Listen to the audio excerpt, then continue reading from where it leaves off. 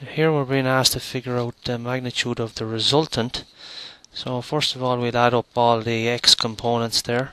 That's the horizontal components. We get 7.52. And then we'll add up all the y or the vertical components.